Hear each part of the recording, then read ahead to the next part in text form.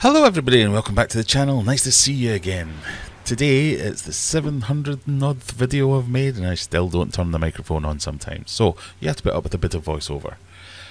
Today's video is about a new tank, a new tank that I've got for my daughter. We picked it up at a car boot sale recently um, for 10 whole pounds, so it was quite the bargain. It's a lovely little tank, it's got a lid with a feeding hole, so it'll work better than her current abomination which is a pink gravel filled oh, mess of horribleness. So, what I'm going to do is try and transform this tank into something that she will really like. Try and put a bit of a nice aquascape in there, um, make it look something nice, and hopefully convince her to move away from the clown puke gravel. Got nothing against it. If she wants to stick with it, that's fine. Um, I'm just giving her a, a wee option. So, I'm going to surprise her by doing this tank while she's at school and swapping it over. It's going to take me a while because I'm going to employ a new technique for me. So the new technique is I'm going to create a custom 3D background. So I've seen this in the past, I've done it in the past, I've never really been happy with the results. Um, often the ones you see tried as big blocks of polystyrene or styrofoam where you carve it out and then you go around and paint it with cement and takes up a lot of space, creates a lot of micro particles of polystyrene, and I'm not a fan of any of that kind of stuff. And it just, it's, I've never been happy with it. And then I saw a video by Stevie P, and I'm now going to rip off that video in its entirety because that uses uh, expanding foam. Um, I will put a link down in the description. Please go and watch that. It's a lot more informative than this is going to be, and I am essentially just copying what he did using slightly different materials because I can't get some of the same things, but I'm using the same principles. So what we're going to do is expanding foam, retard the expansion by putting on some substrate, which also textures the expanding foam, so you get the nice peaks and valleys, as well as some of the sand and bits of substrate in there. Uh, then colour that with some spray paint, and then clear coat it with some lacquer with some polyurethane cover, uh, and that should give you an aquarium safe background.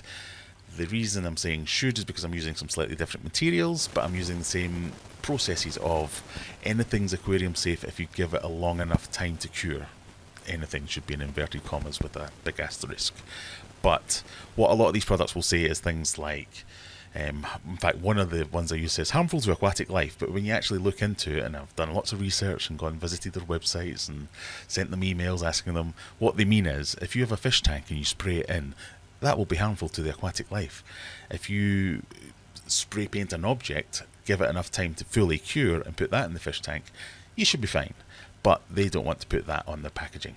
So, copy all this at your own risk, but that's exactly the technique that I'm going for. The premise being that if I give everything a sufficient amount of time to cure, it should be fine. I'm then going to coat everything um, with a polyurethane clear coat which will mostly to hold everything in place, but also to give it that nice bit of extra protection, make it watertight, waterproof.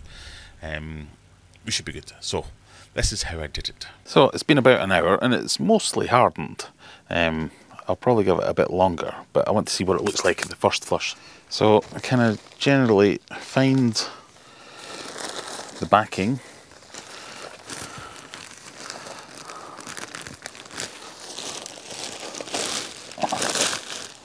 lift it up. Shake off the excess.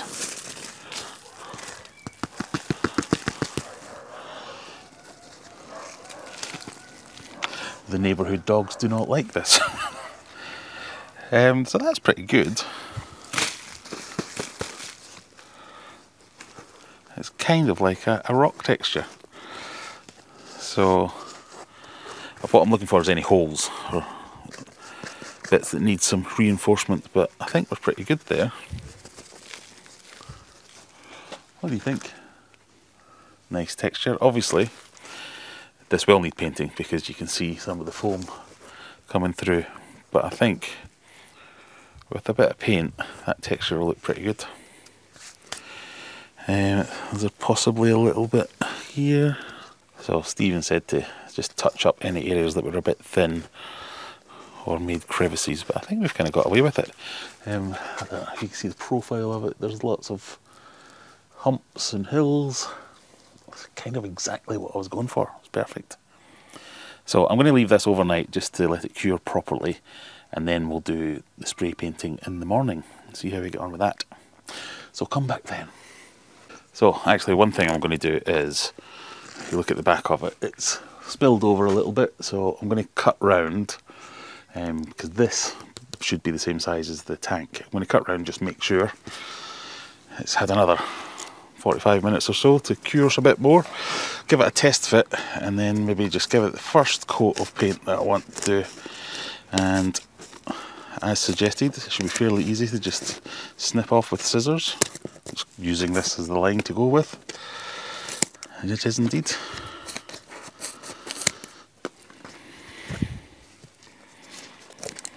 and actually cutting into it helps me because I can see that it has gone off. There's no squidgy bits in the middle. It'll harden up more but you know. So we can see if it does indeed fit in. Might need a little bit of persuasion. And it does so might need a tiniest bit of a trim height wise but that's kind of perfect fit otherwise nice so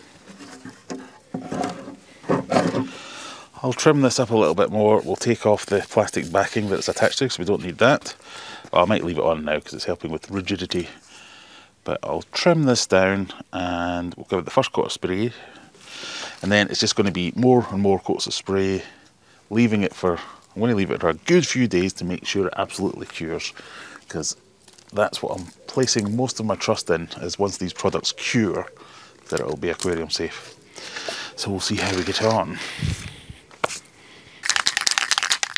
I'm going to hit it with the black first. And if any of my previous spray painting experience counts, I have no previous spray painting experience. Slow and multiple coats. Or not slow, but thin multiple coats. This first pass I'm just trying to get all the white bits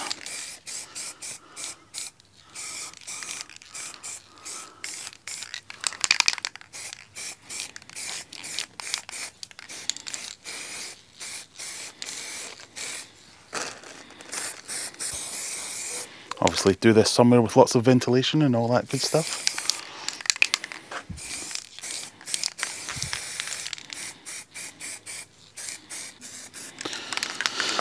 So I'll let that dry, do a few more coats. I've also got a green. Um, I'm just going to try that now just to see what it looks like because I haven't actually seen this sprayed anywhere yet.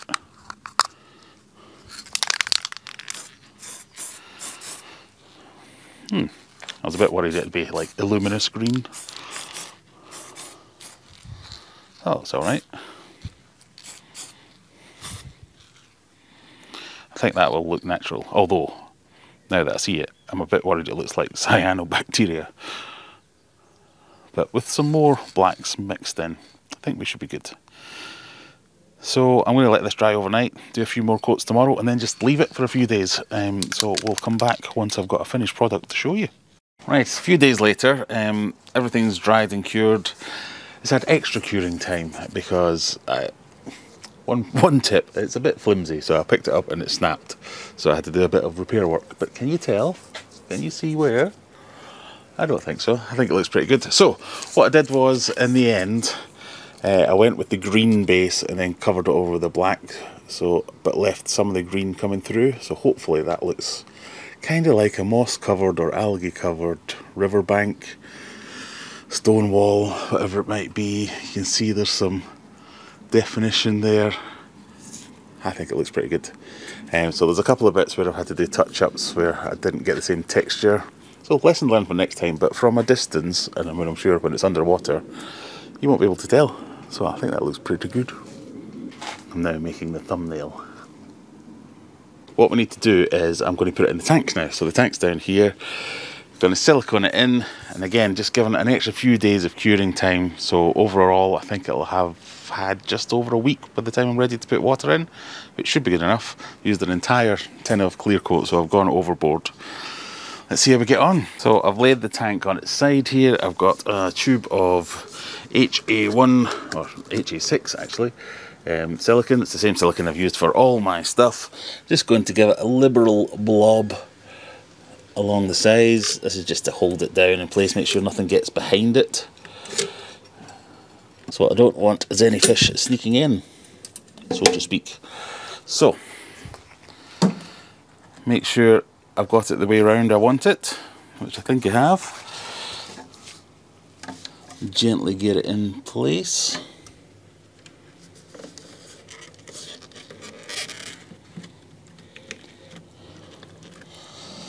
Press it down.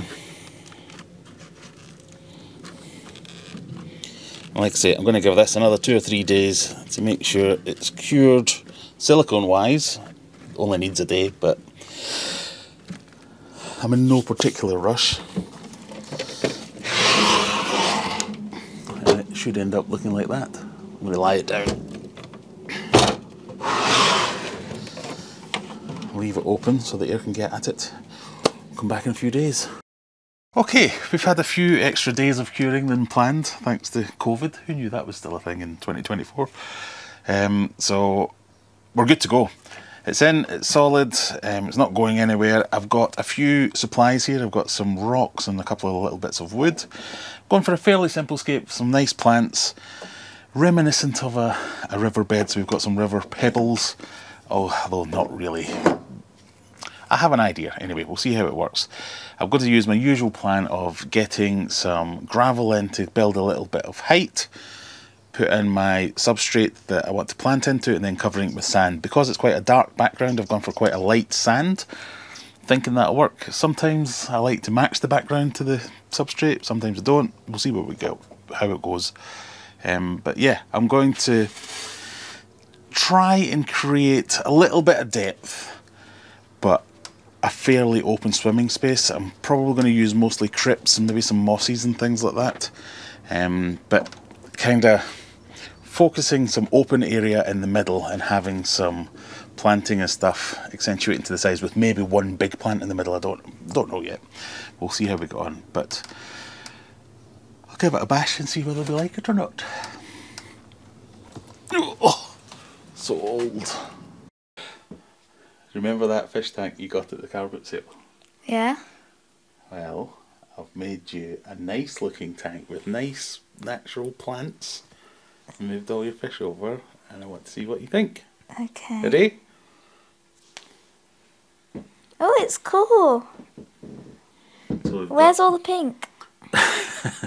they haven't put any pink petals, but some of those plants are called pitchy pink, the cryptocorynes. They'll grow big and get red and pink colours in them. But they're And not the- pink now. They're not pink now, no. But the background, that's a one of a kind. I made that myself. No one else has got that. Completely unique to you. All your fish are in. Can we have the pink? The pink um, gravel. you want the pink gravel. Yeah. It's meant to be like a natural beauty thing. You don't get pink gravel in the natural world. You get pink coral. It's freshwater. That doesn't matter. So you want to add the pink in. Yeah. I guess we have our answer. Pink. So I've actually left this with the the heater and the two sponge filters in there, but I don't really like the sponge filters, but I'm not sure. I've never been able to find one that I'm happy with, an internal filter that wasn't a sponge filter. So if you have any ideas, let me know in the comments. But otherwise, partial success. That one's having ginormous poo, and the one at the back is fat and is having probably is pregnant probably. And So I guess it's a bit of a hit. She quite likes it, Yes. but not enough pink. So we'll get this one completely broken down, wash out the pink gravel, and you can do what you want. just Give it a little bit of sparkle. If you like this kind of thing, click that subscribe button. Uh, come and join me on a Friday night, 9 pm UK time. Leave a comment. Would you add pink gravel to this, or would you leave it as is? I don't know. well, yeah, you need to add pink. Thank you. Bye. Bye.